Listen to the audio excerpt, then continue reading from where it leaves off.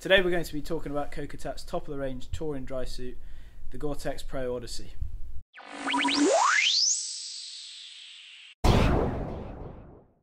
Gore-Tex Pro is regarded as one of the most breathable, durable, waterproof materials on the market. The Odyssey dry suit has a chest zip entry to make it easy to get in and out of. It has latex neck and wrist seals to keep you nice and dry.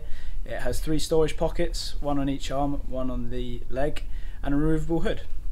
The Odyssey dry suit has a pair of stitched in socks. Both the men's and women's versions come with appropriate relief zips and also internal braces to help keep the suit up. So that's it, Kokatat's top of the range Gore-Tex Pro Odyssey dry suit.